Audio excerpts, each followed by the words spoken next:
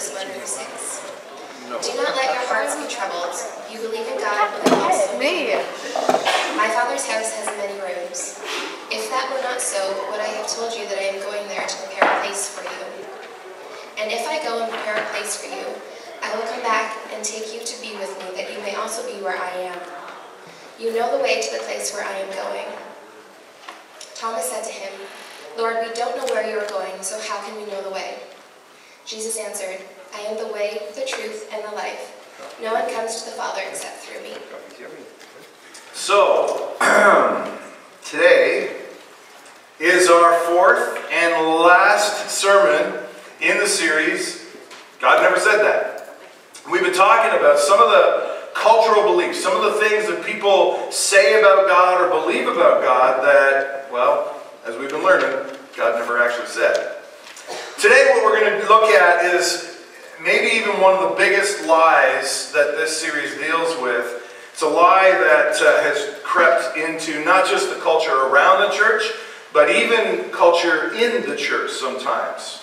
You may have heard it, you may have said it, you may even believe it, but God never said it.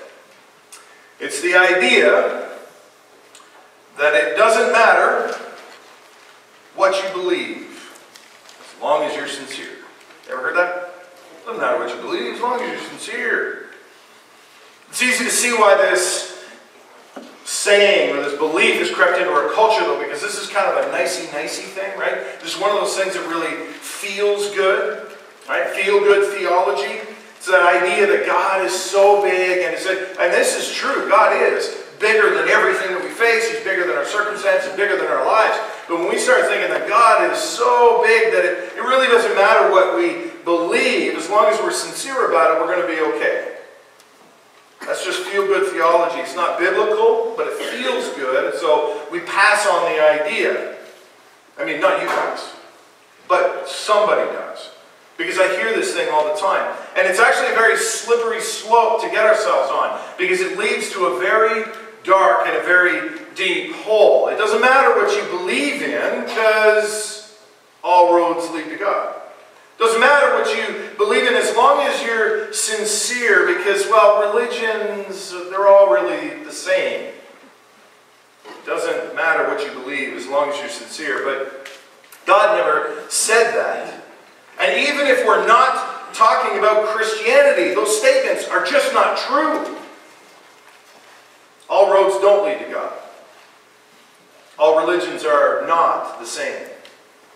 I used to know a girl that believed in reincarnation, and uh, she was really sincere in her beliefs. Uh, and, and, when she first brought it up, uh, honestly, I'm not sure if I thought she was was kidding or, or, or, what, but we're just in the middle of a conversation. She just started talking about how she's so passionate about all things ancient Egypt. You know, she's really into it. She just feels this deep connection with, with ancient Egypt. And so she had just made this thing in her head where because she had such a deep core passion for all things ancient Egypt, she is a reincarnated Egyptian princess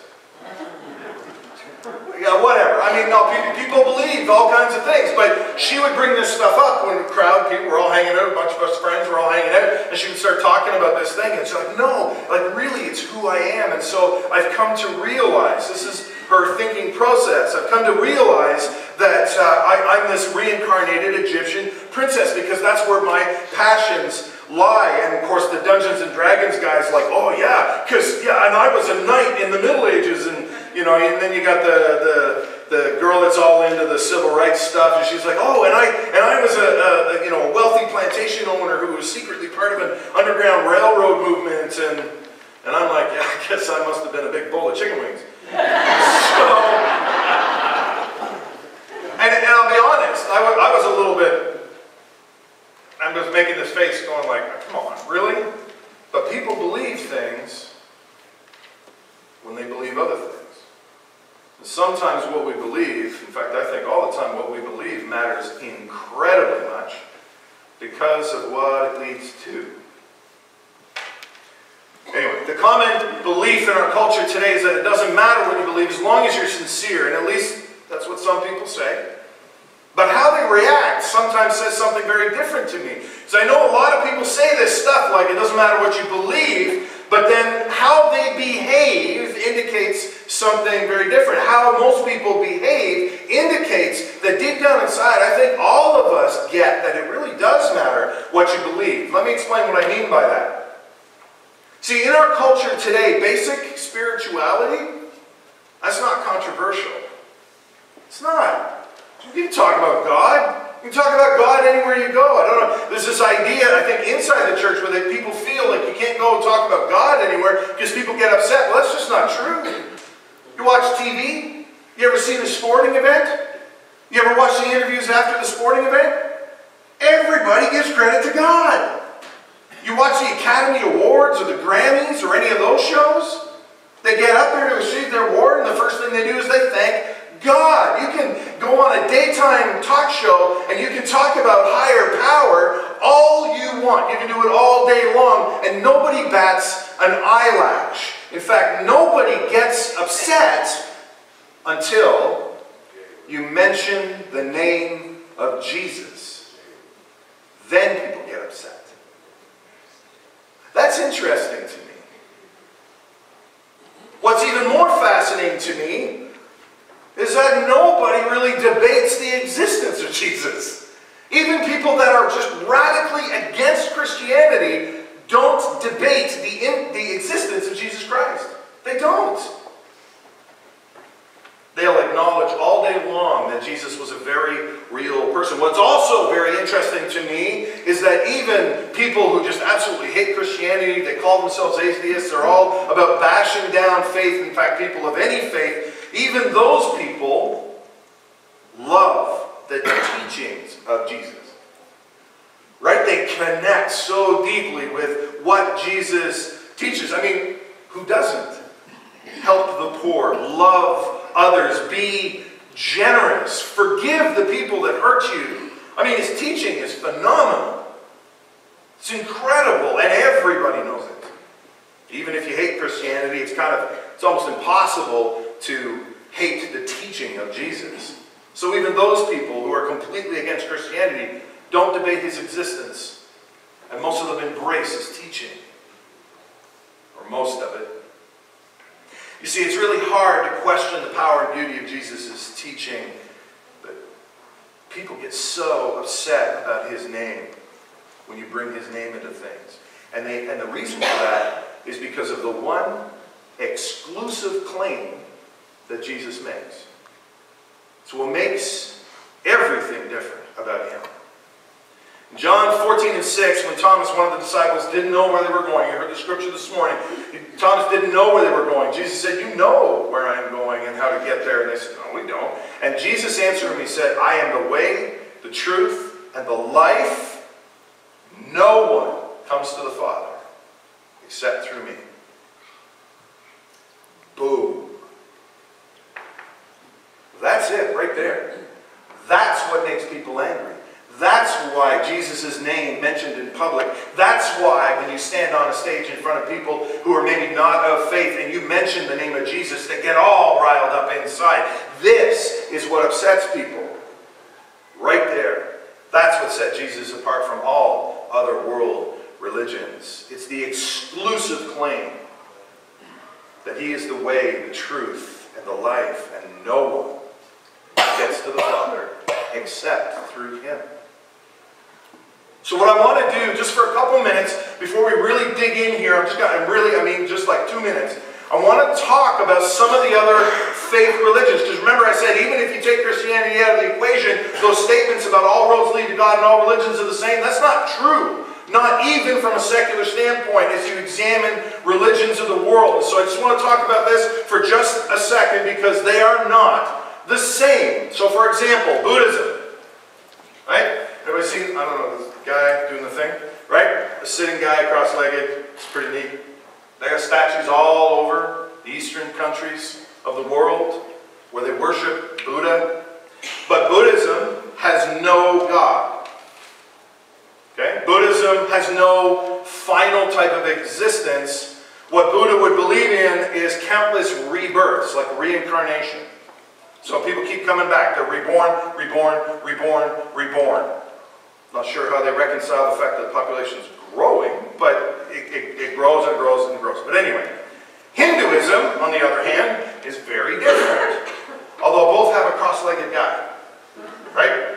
So, Hinduism has an impersonal God that's approached through statues and idols. That's how you talk to the God or relate to the God, small g.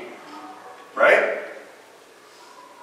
There is no forgiveness of sins. There's no supernatural help in this world. What, what they believe in is karma.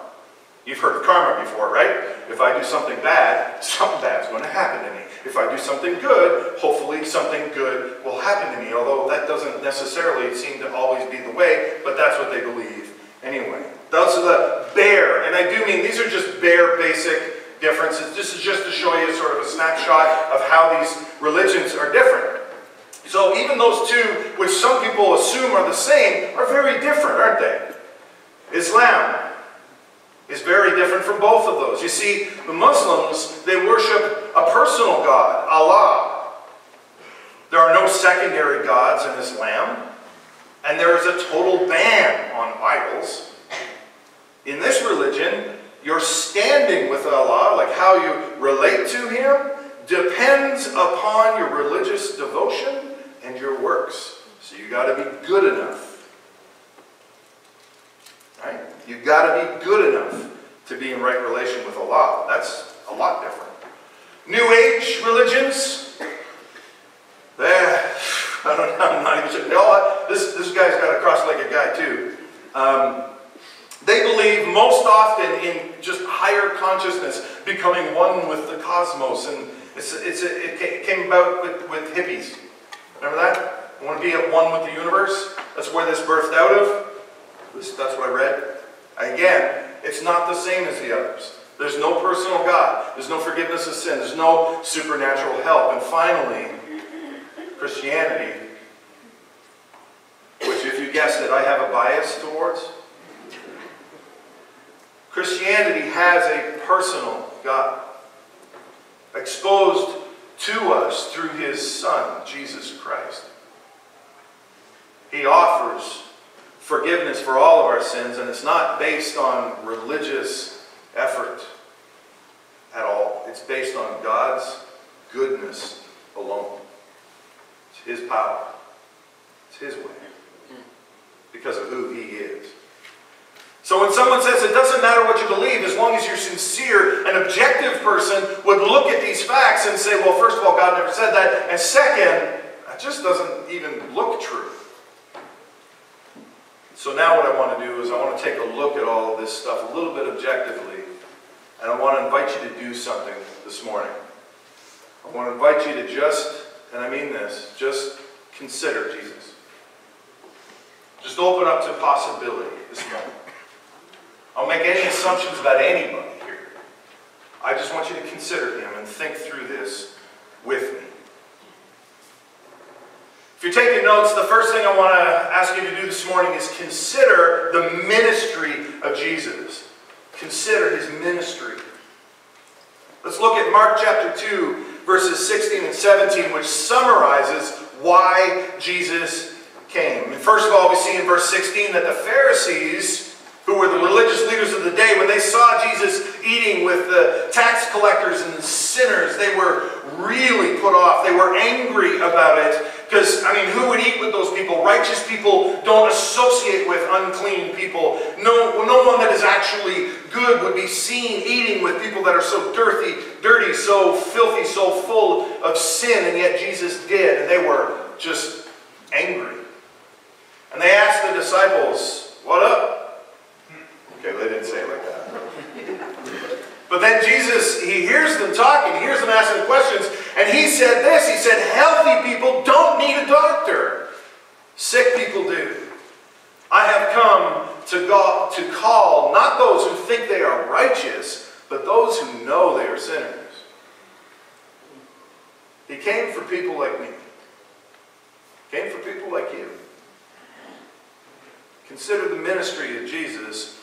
Those who were despised by the culture he loved and he accepted. Those who their religions rejected, Jesus loved and he reached out to. When a woman was caught in sin, I mean caught in sin, a sin that carried with it the punishment of execution by stoning, when this woman is caught in this adultery, all the religious people said, stone her to death, kill her. That's what the law says. Kill her. And Jesus looked at them and he said, okay, whichever one of you has no sin, who has never sinned, who's perfect and pure, go ahead, you throw the first stone.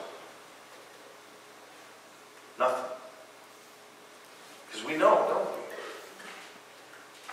Apart from Christ, apart from the saving grace, we're not that good, are we? Compared to a holy and perfect God, we're just not. And so they didn't. And Jesus looked at the woman. He said, Now go your way and sin no more. Hmm. It's pretty powerful when you think about it. Think about some of the other things that Jesus did. Jesus walked on water. Jesus healed the blind, touched their eyes and gave them sight. He, he gave hearing back to people who were deaf. He touched lepers and, and healed them instantly. He turned water into wine. He took a few loaves and fish and fed 5,000 men, and who knows how many women and children were there. Jesus raised the dead. And here's what's crazy about all this is that the critics, the critics, they never even challenged the miracles. They saw the miracles and they never, they never argued them. They just wanted them to stop it. Right? They saw the miracles, they didn't question them, they saw the validity of them. They just wanted them to stop. Stop it, they would yell. Stop it. Cut it out. Don't do that. They saw the miracles. They just wanted them to end it. Consider the ministry of Jesus. In fact, consider that the reality is the same for you and for me. Some of you are a miracle of the ministry of Jesus Christ. Now, let me say that again. I want you to hear this because this is important. This is true for all of you. Some of you are a miracle. A miracle of the ministry of Jesus Christ.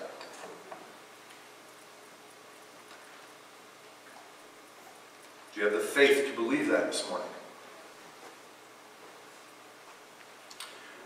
Many years ago, my friend Derek was sitting in that seat of that car.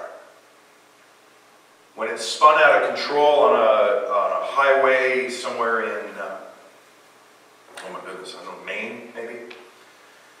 On his way back home at Christmas vacation from college, his best friend was driving his car.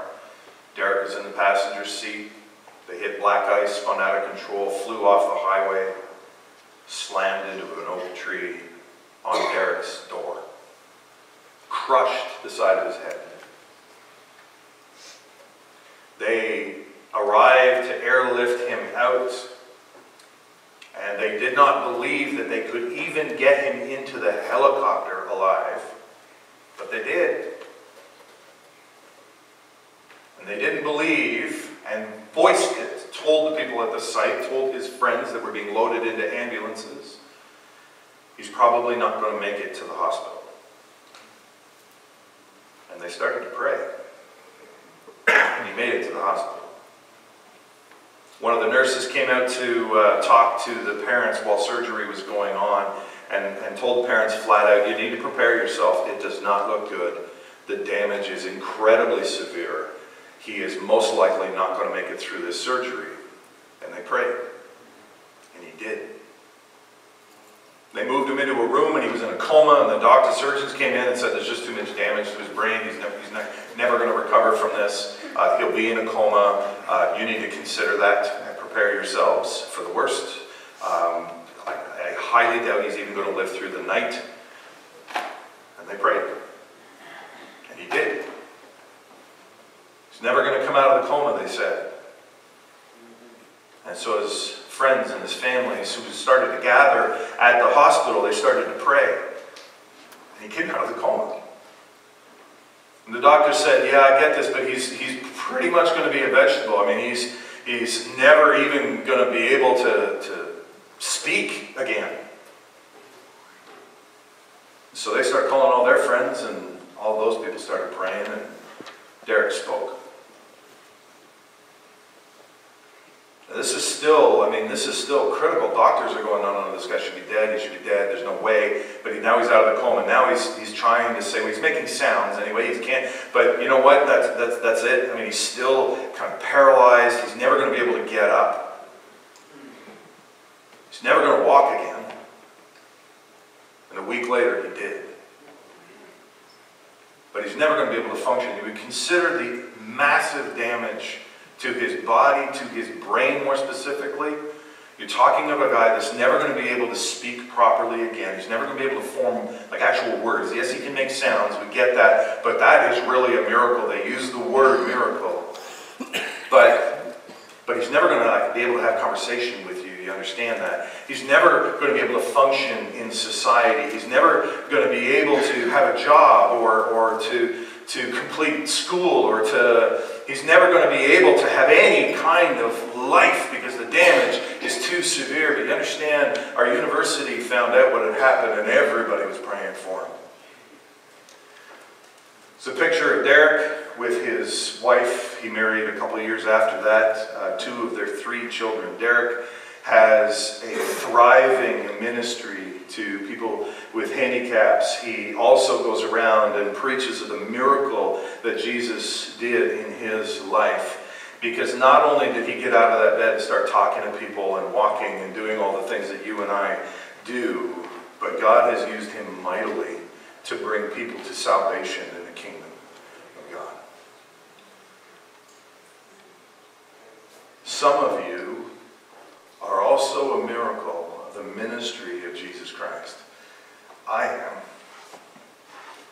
Because without him I was lost and I was hopeless.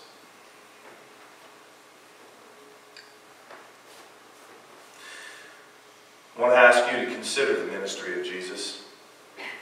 Think about what he has done. Think about what you have heard. And think about your own life in that context. Because Jesus is still alive.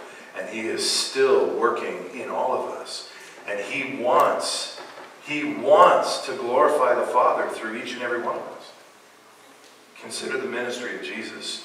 Consider also the resurrection of Jesus. That's a big one. And I want you to think through this one with me because this is actually a bit of a, a hot button topic when it comes to you know debating about religion or debating about Christianity, especially talking about Jesus Christ with people. They always want to go at the resurrection, and they should. Bring it on. What we all need to understand is that God loves us, but He hates sin because sin destroys us. Sin hurts His children. Sin takes His children away from, from Him. Sin creates wedges. It breaks down relationships. Sin hurts us, and He hates sin for that. He hates it. Because he wants all of us to know him deeply, passionately, intimately. He wants us to live in his glory, in his love, and sin separates us from that. He hates sin. And that's why Jesus was born of a virgin. He didn't inherit that sinful nature that we inherit from our fathers. I'm sorry, guys, but that's what the scriptures tell us. That sin is inherited through the sin of Adam and passed down from generation to generation to generation. I don't want you to miss the power of this one. On the cross, when the creation was mocking him, you understand the creation is mocking the Creator.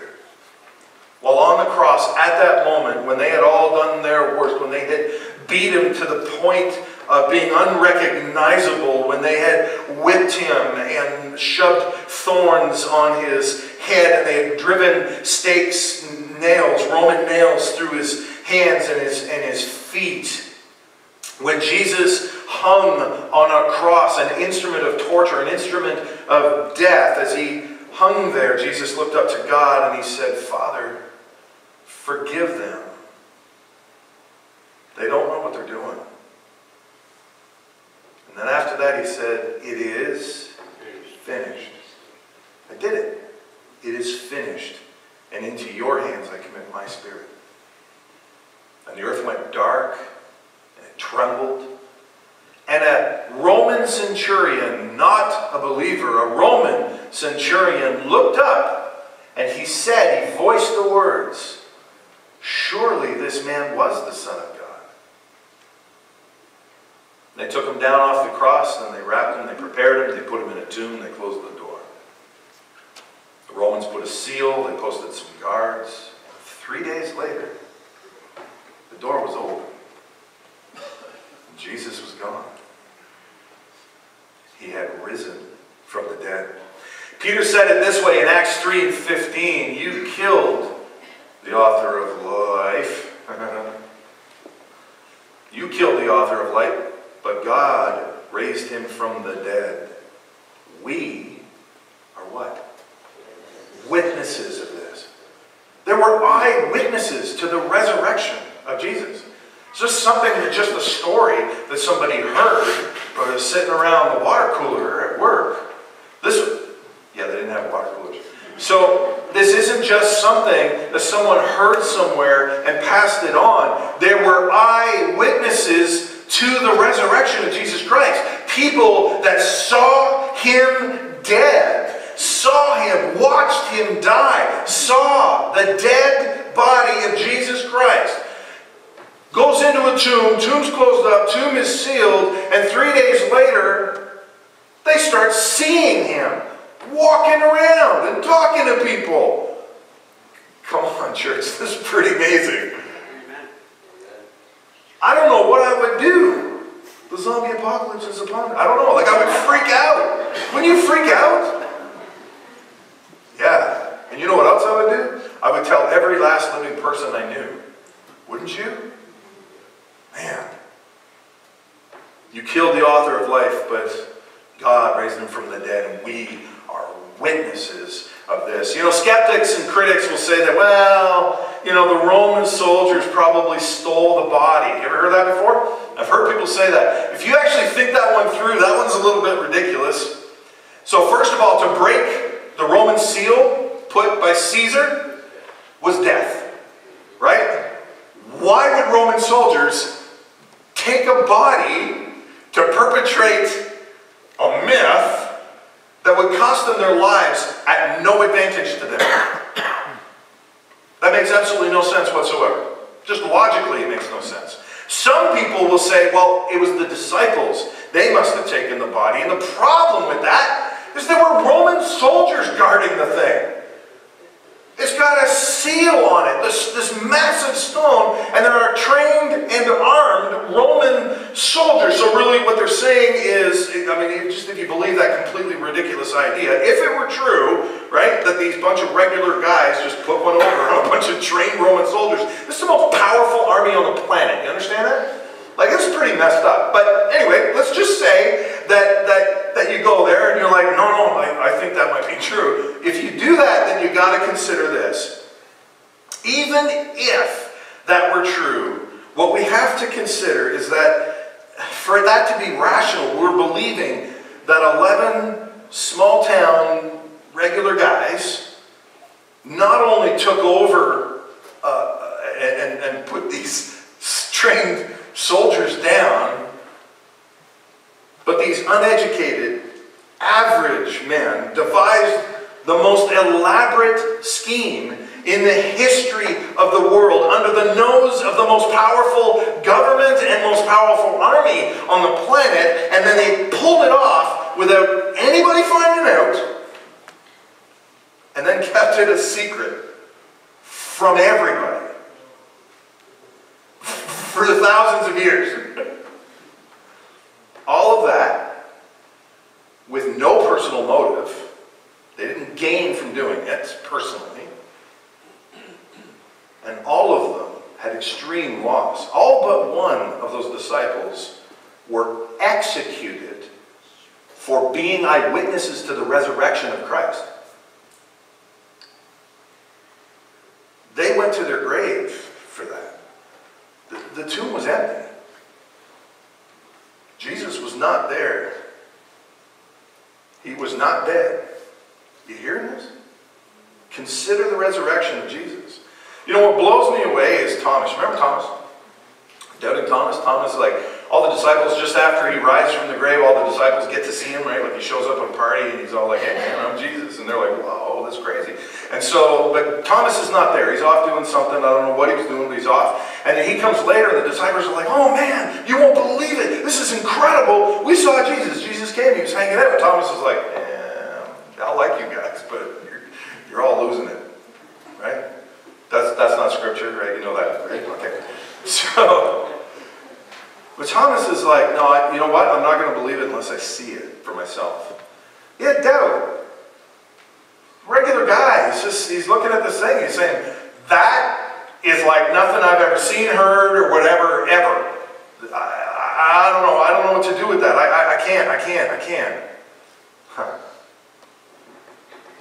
Then Jesus shows up and he says, hey, Thomas, why, why don't you put your hand, why don't you put your fingers in here? Why don't you touch these wounds? Why don't you, I don't do that, scare everybody, but, you know, like, put your fingers in here. See my wounds. Know that this is real. Don't doubt. Believe. And then Thomas, you know what Thomas does? Thomas goes to India, becomes the great evangelist of India. And while he's there, he's evangelizing India, they, they take him and they call upon, they strap him down, and they demand that he renounce his faith because nobody rises from the grave. And he refused. He said, I will never renounce my Savior. And they drove a spear through him. They executed him. They martyred him. Why would the one guy who clearly had doubts about the resurrection of Jesus die for his faith? Because he saw Jesus. well, this is good, man. You need to know the answers to this. Write that down. He died for his faith because he saw Jesus. There's no other explanation for that. He knows unequivocally Jesus is alive. Do what you want to me, but I saw the man. I spoke with him. Do your worst. Consider the resurrection of Jesus. Consider it. Don't consider Christianity. We make mistakes. Don't consider me. I'm, I'm imperfect. I might let you down. Don't consider this church. It's not what I'm asking you. Okay? We, we, we mess up all the time, don't we? Right, Don? Yeah, come on. Let's be real. Right? We're not perfect. I mess up all the time. We all do. But consider Jesus. Consider his ministry that he came for sinners. Consider the resurrection that eyewitnesses are willing to die because they saw Jesus rise from the dead. And finally, I want you to consider his eternal message. Consider the eternal message of Jesus Christ. I love the way Paul summarizes it in Romans 3. He says, We are made right with God by placing our faith in Jesus Christ. We're made right with God by believing. We're made right with God by having faith in Jesus Christ. By putting our faith in the Son of God. This is, I hope you guys are hearing this because this is crazy powerful. I mean, there's nothing anywhere that's like this. We're made right, like in good standing, like awesome, son. You know, like we're made right with God by placing our faith in Jesus. That's immense. It's huge. How are we made right? Come on now. This is like, it's Q&A. How are we made right? Yeah, that was, come on, let's do it. How are we made right? By placing our faith in Jesus Christ. It's like Sunday school, right? It's awesome. That's incredible. But here's the thing. We're made right with God by placing our faith in Jesus Christ. No matter what you've done. No matter what you've done, no matter where you've gone, no matter what your life looked like yesterday or what it looked like this morning, no matter how shiny you think you are or how dark it was when you woke up this morning, it doesn't matter what kind of a track record, a history, or a testimony you have. It doesn't matter how bad you were. I was the worst of them. It doesn't matter who you were. It doesn't matter what you've done because our God is bigger than that. He is more powerful than that, and it does not depend on your work. Your salvation does not depend on your work. You hear me, church? The salvation does not depend on your work. Your salvation depends on His goodness, His power, what He's done, what He accomplished, what He's doing even now. It depends on Him, not on you. So it doesn't matter where you came from. It doesn't matter the life that you've lived. It doesn't matter the things that you've broken or the people that you've broken. It doesn't matter how ugly some of the things were that you did. Those things don't matter. I mean, that's awful. Don't get me wrong. I have great shame in my heart for many, many, many things that I've done in my life. I do. Maybe someday, if I'm really hard up for material, I'll give a, give a testimony.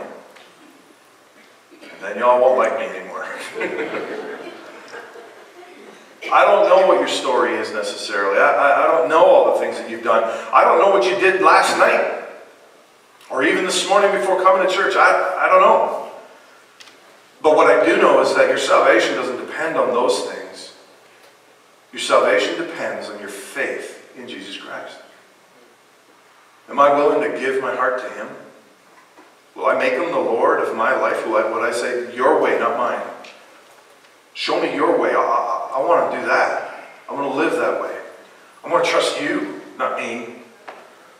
Everything I touch goes to pot. It's not about religion. See, religion is about me. Religion's not about him. Religion's about me. So it's not about religion. Religion's all about how I perform. It's about what I do. It's am I good enough? It's all those things. It's not about religion. Religion's all about me. I'm not talking about that. What I'm talking about is relationship. It's knowing God. I know Tracy. My wife Tracy. I, there's, there's no one in this world that I know more than Tracy.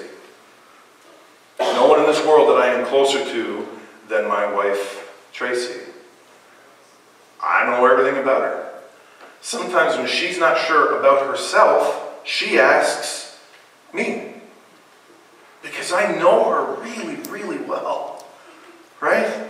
I saw a movie once that talked about a relationship like a, like a degree system at school. Like you, you know, some people, they get into a relationship and they get kind of like the high school knowledge of the other person. And some people, they take it even further and they get kind of like, like a university degree, right? They get that level of, of knowledge of the other person. And with Tracy, I, I, I'm all the way through, man. I got a PhD in Tracy. But I still haven't learned it all. I'm still learning about her. But man, I am really, really, really close to that woman. I know her heart. I know her dreams. I listen to every story every time, even when it's the ninth time. I've heard it. because she likes to talk to me. Why? Because I'm hers. And I'm locked into that. I'm locked into her. I'll always be there for her. I'm always going to be with her. I'm always like I'm always looking for more of her. I want more. The longer we're together, the more I want. More Tracy. I want more Tracy. I don't get tired of being around my wife because I've I've progressed to a point where I just I'm, I crave Tracy all the time. I'm a Tracy addict.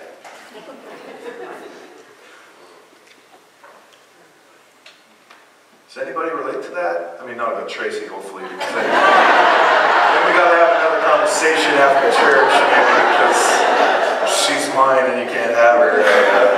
But you should know her because you can have a high school diploma. Yeah, you can, yeah. Can anybody relate to that? Having a relationship? Anybody that you just like, I don't know, maybe a friend or a, a child or a spouse or whatever, where you just, man, they're, they're everything to you. Ever felt that? ever felt so by being with somebody that you just, you're lost? That is what the Lord wants with us. That we are so captivated by Him and so lost and in love with Him that we would know deeply and intimately how huge His love is for each and every one of us. That's His eternal message. He's saying, Come and be with me always. Not just here, not just now, not just Sunday morning, not just, you know, when, when, when it strikes you or, or when you're, you know, it's, it's, it's not about the, the, the form and the, am I kneeling? It's not about like, how many times this day I've done this certain thing or anything like that. He wants us to know Him more than anything else.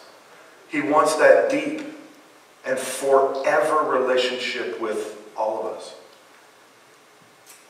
And we have that. The door opens to that by placing our faith in Jesus Christ.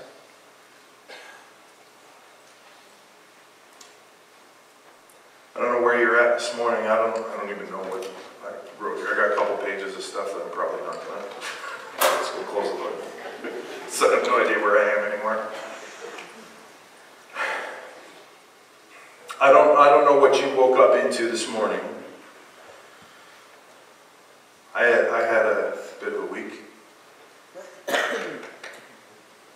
I know sometimes I have to sort of examine myself and figure out where I'm at with him. You ever feel like that? I got to kind of look in the mirror and say, man, man, I, I haven't been everything I should be in this relationship. Happens with Tracy too, where I'm not all the way there with her. So sometimes I got to examine myself, and I don't know, maybe that's you this morning, maybe it's not. But I think it's critical. I mean critical that every opportunity we get, we look at our relationship with God and then we ask ourselves that question Am I desperate for you? Am I so, so in love with you that I would do anything just to get a little bit closer? Maybe, maybe you're one of these uh, people, I, I meet them all the time and I mean, they love the idea of Jesus, but they've never just, they've just never, they've kind of never taken that step. They've never just walked into it and said, yeah, I, I, I want you to be the Lord of my life, too. And salvation is a gift of God. There's nothing we can do to earn it. He's, he's giving it. All we have to do is say, yes, Lord, yes, I want that. I, I want you. Maybe that's something that you want to do this morning. Maybe it is. I don't know. I just asked you to consider this stuff. It's not my job to convince you. I love him and I am passionate about him and I wish for every single person here that you know him deeply and more intimately than I do. But you get to decide, you get to pick. So I would like to, I would like to take a moment. This is an alone moment with God. Okay, so I know I, sometimes I do this and it feels a little awkward, and that's okay. We can be awkward together, can't we? Let's be awkward, okay? So I'm going to ask you to just kind of bow your head or close your eyes or whatever. Just take a moment to get into your own space with God. Whatever that looks like. Just sometimes I just close my eyes and lower my head a bit. Maybe you need to, the word is repent, it means to return to a higher place. Pent, like where we get the word penthouse. Pent is a Latin word that means higher place. Repent means to return to the higher place. It's just about turning away from things that we've been or things we've been doing or life that we were living and turn towards God instead. Maybe that's you this morning. There's just something that's been hindering your relationship. Maybe you, you love Jesus, but man, I, I don't know about you, but I, I trip all the time and I make mistakes all the time. And sometimes I, it's like what Paul says in Romans. He says, I, you know, I, I, I don't want to do the bad thing, but I, I keep doing it. And I want to do what's right, but I keep doing what's wrong. And I don't know if that's you, but maybe that's you. Maybe you're the, one of these people that just, you've never taken that step and invited the Lord to be your Lord. Maybe you've never said, Yes, Jesus, I want that. I want you. That gift that you're offering me. I believe. Maybe that's you this morning. Maybe you just want to draw closer. Whatever your story is, wherever you're at in your heart, I want you to take a moment right now. Just quietly in your own mind, your own spirit, in your own heart, pray this with me. Father, thank you for making the way where there was no way. Thank you for shining your light on me, Lord, and showing me the hope of your salvation. I may not know everything that it means today, Lord, but I do know that I want you. I want the gift that you offer. Today, maybe even for the first time ever, Lord, today I say yes, yes to you. I believe. My heart, Lord, is yours.